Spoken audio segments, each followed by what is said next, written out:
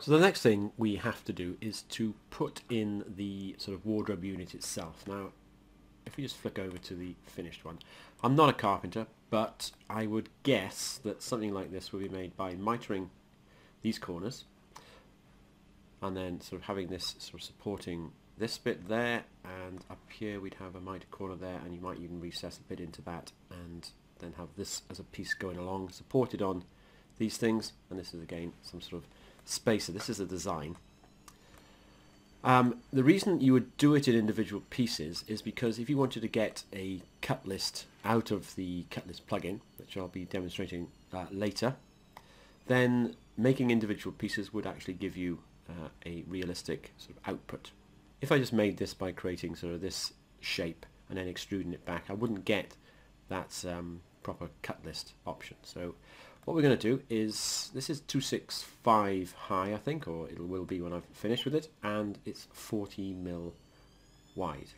Okay, so I'm just going to build these things. There's three sections, one, two, three, and we've got a backboard there, and then this paneling behind is sort of MDF, um, it's MDF uh, tongue and groove board, and there's I think one or two or possibly three bits going into that.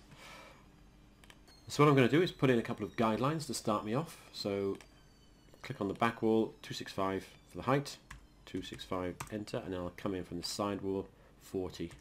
And that's going to give me my sort of start of a 10. And then I'll create a rectangle from this corner to that one. So that's the size that I want. Now this is going to be mitered down at this point and mitered up at this point. We'll do that in a minute. Um, what I'm going to do now is double click that to select it and right click and we'll make this into a component and I'll call this um, end. Okay just something simple and create. And then I can double click to edit and push pull this out to this front face there.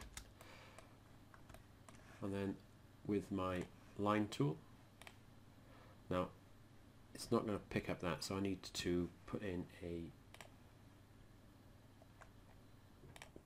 40 mil at that point and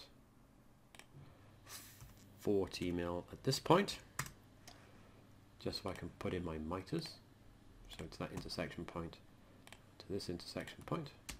Then P for push pull take that back to that face and double click this one. So that's created that piece that's one end piece. I can then copy this and flip it along the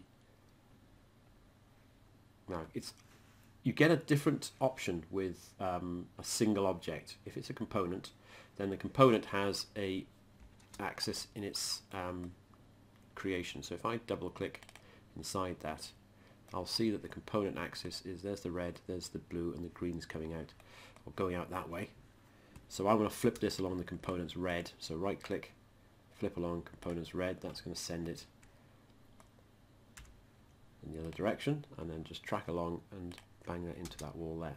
So that's the first bit that I've created. The next bit is going to be creating something that is going to form the top and the bottom.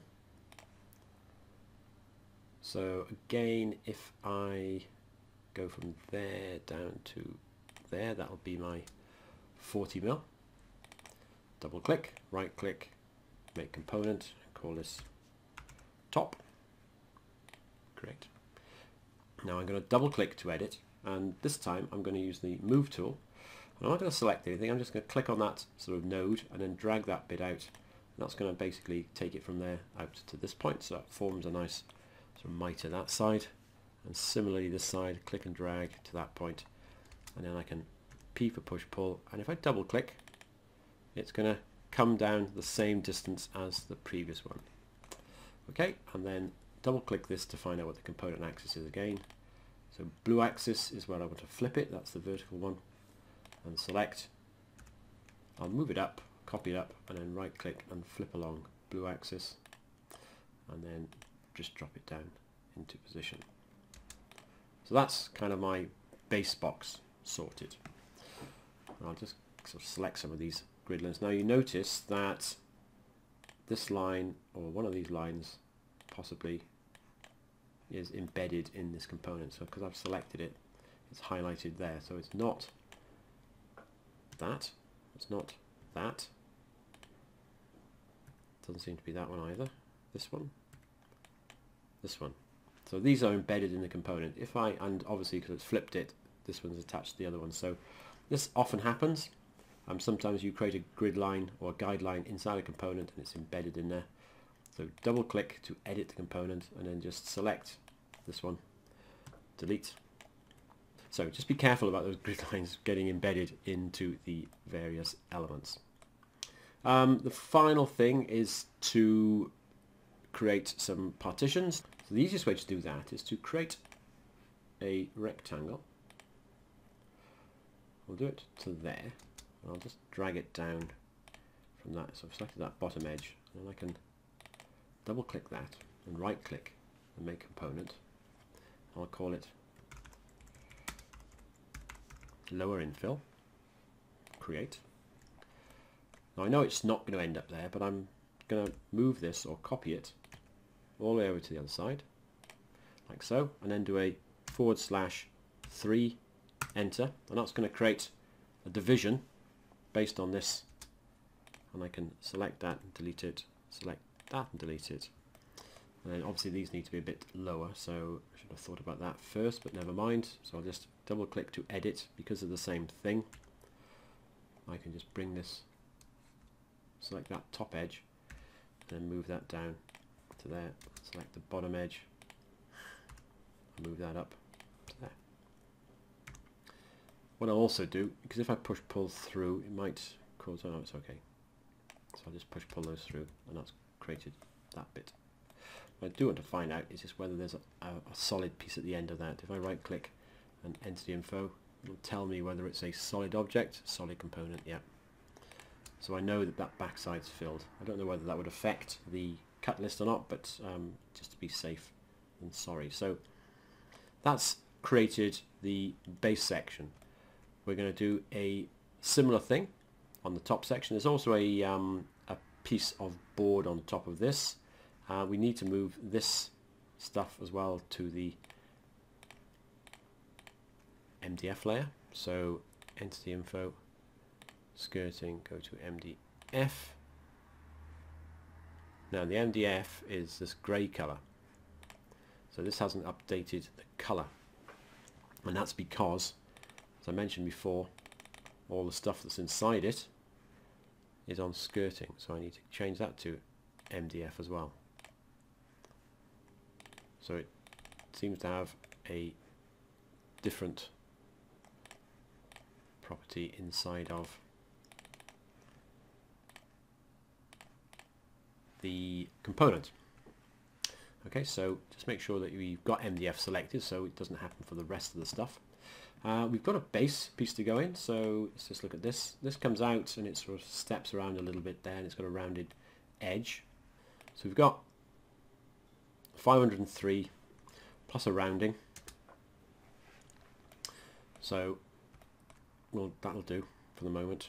503 plus a little rounding. And that rounding so just comes around the corner as well. So I'll just show you how to do that. Steps out just a little bit based on the um, plans that I got. Probably about 12 mil thick as well. So 503 and um, little extension at the back there. So make sure we're on MDF.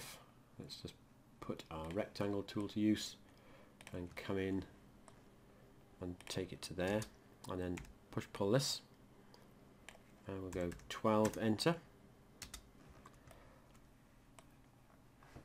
so that just comes to this point obviously and then we'll push pull this bit out. I know about 10 15 mil so I'll go 15 and then we'll put a little line in here. And do the same push pull out for there 15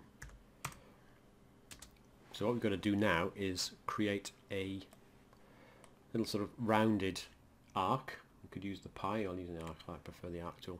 So click click then come out to it says half circle that forms a little closed piece there then I'll pick this line and this line and use the follow me tool and click on that bit and that's going to whiz around that path. Okay, so then I can triple click, right click, make component, and we can call it um, base top or something and create that.